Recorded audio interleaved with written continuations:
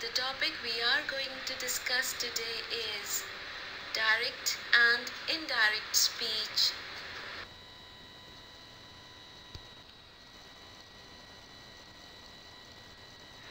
Saying exactly what someone has said is called direct speech. It is sometimes also called quoted speech. Here, what a person says appears within quotation marks and should be word for word. For example, she said, Today's lesson is on direct and indirect speech.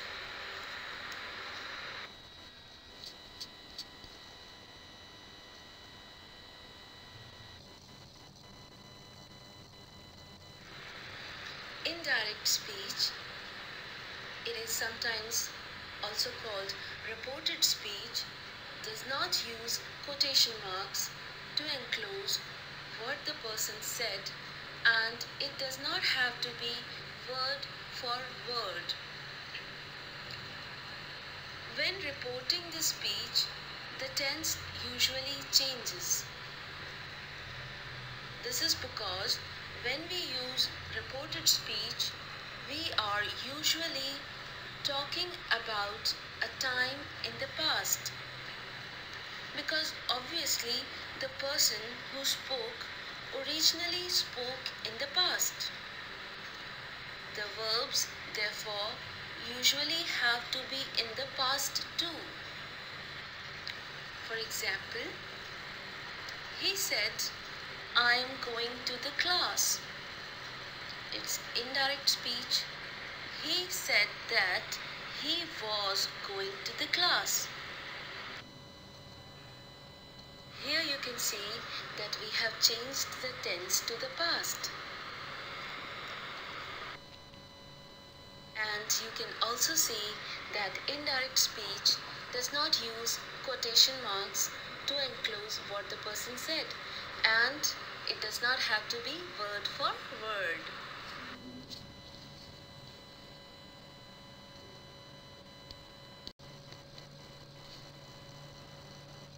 Let's see the rules for changing direct speech to indirect speech.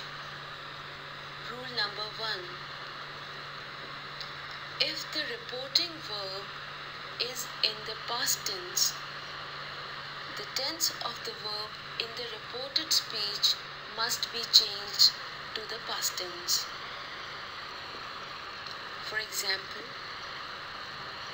he said John writes a letter. Here, the reporting verb is in the past tense. So, the tense of the verb in the reported speech must be changed to the past tense. So, the indirect speech of this sentence will be He said that John wrote a letter. Next sentence. He said John is writing a letter. It's indirect speech. He said that John was writing a letter. Next sentence. He said John has written a letter. Indirect speech. He said that John had written a letter. Next sentence. He said John has been writing a letter. Indirect speech.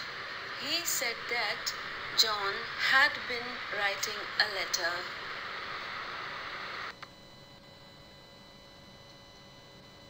So, if the reporting verb is in the past tense, the tense of the verb in the reported speech must be changed to the past tense.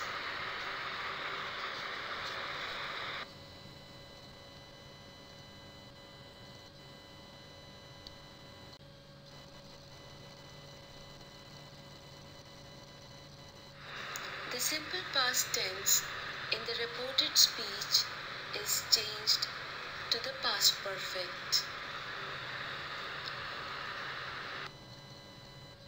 For example, he said, John wrote a letter yesterday. It's indirect speech. He said that John had written a letter the previous day. So, the simple past in the reported speech is changed to the past perfect.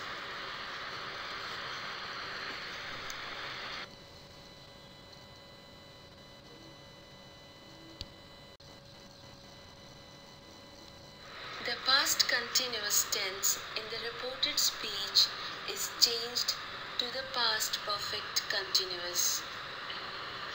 For example, he said John was writing. It's indirect speech. He said that John had been writing. So we change the past continuous tense in the reported speech to the past perfect continuous. Let's see one more example. He said Amit was playing cricket. It's indirect speech. He said that Amit had been playing cricket. The past continuous tense in the reported speech is changed to the past perfect continuous.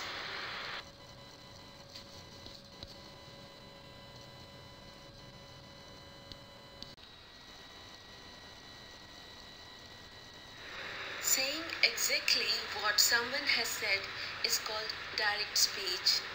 It is sometimes also called quoted speech. Here, what a person says appears within quotation marks and should be word for word. For example, she said, Today's lesson is on direct and indirect speech.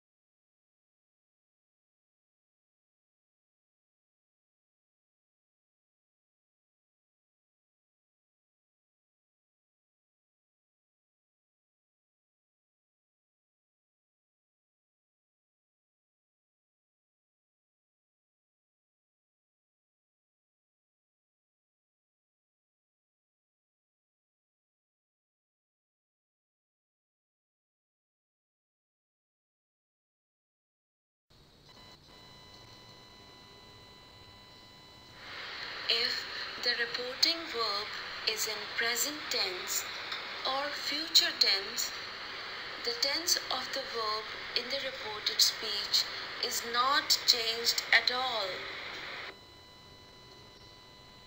For example, John says he went to his village. It's indirect speech. John says that he went to his village. So you can see that if the reporting verb is in the present tense or future tense, the tense of the verb in the reported speech is not changed.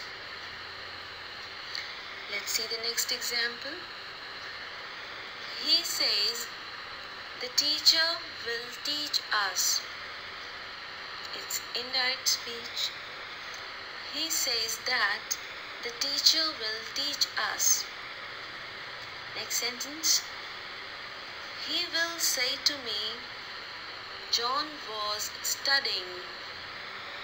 It's indirect speech.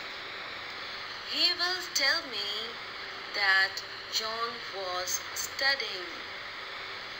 So, if the reporting verb is in present tense or future tense, the tense of the verb in the reported speech is not changed at all.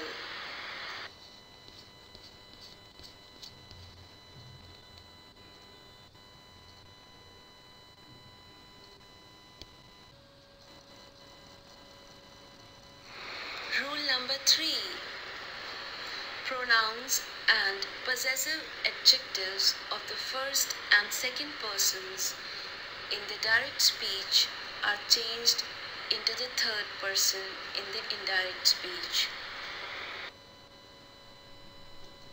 For example, John said, I am ill.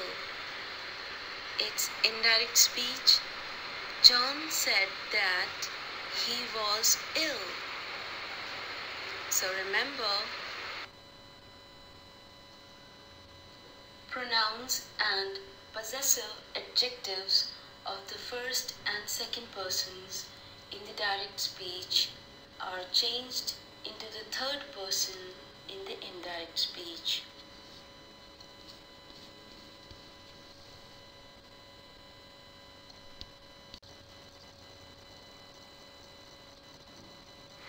If the person addressed reports the speech, the second person is changed to first.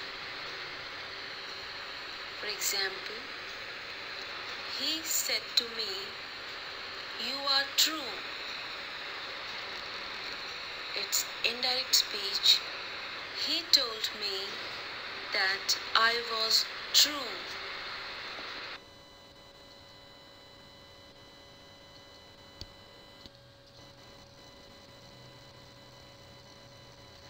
If the reported speech has first person pronoun, it will be changed as per the pronoun of reporting speech if it is third person pronoun. But if first person pronoun is used both in reporting speech and reported speech, no pronoun is changed. Let's see some examples. She said, I am quite fine here. She said that she was quite fine there. He said, I write every day. It's indirect speech. He said that he wrote every day.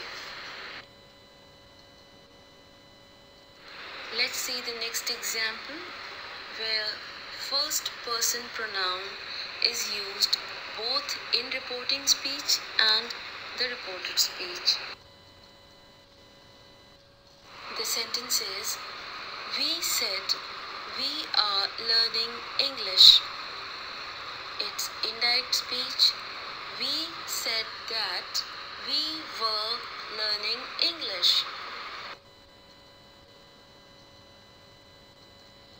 So, if the reported speech has first person pronoun, it will be changed as per the pronoun of reporting speech. if it is third person pronoun. But if first person pronoun is used both in reporting speech and reported speech, no pronoun is changed.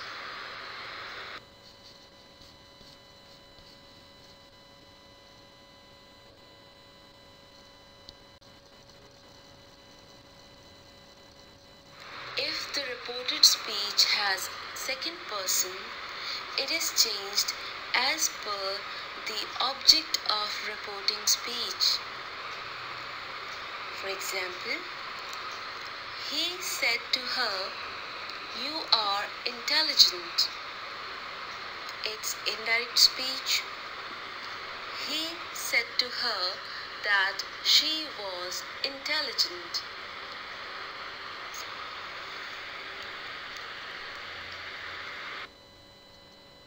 So, if the reported speech has second person, it is changed as per the object of reporting speech.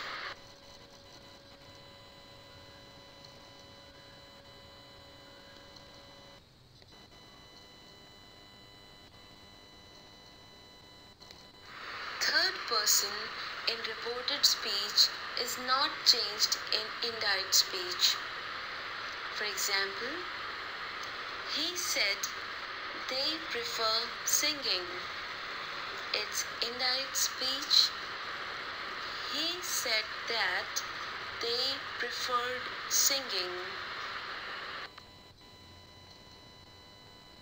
So you can see that the third person in reported speech is not changed in indirect speech.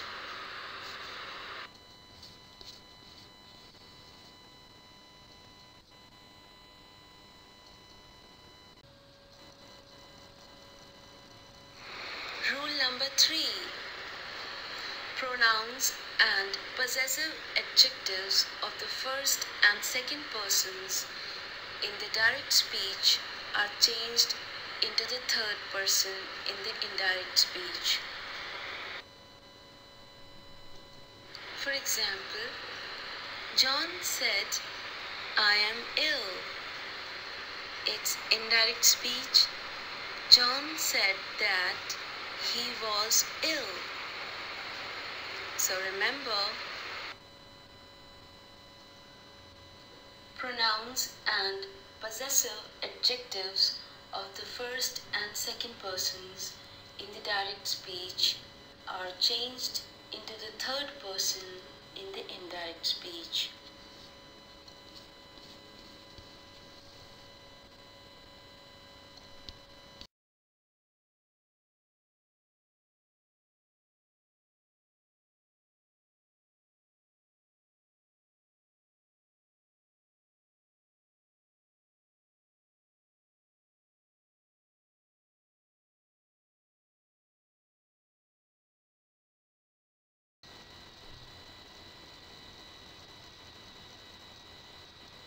Let's see some more sentences.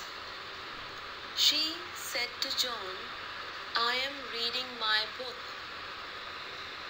It's indirect speech. She told John that she was reading her book. Next sentence. John said to me, You are reading your book.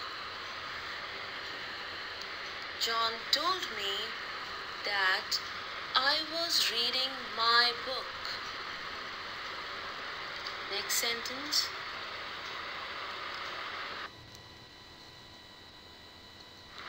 You said to John, I am reading my book.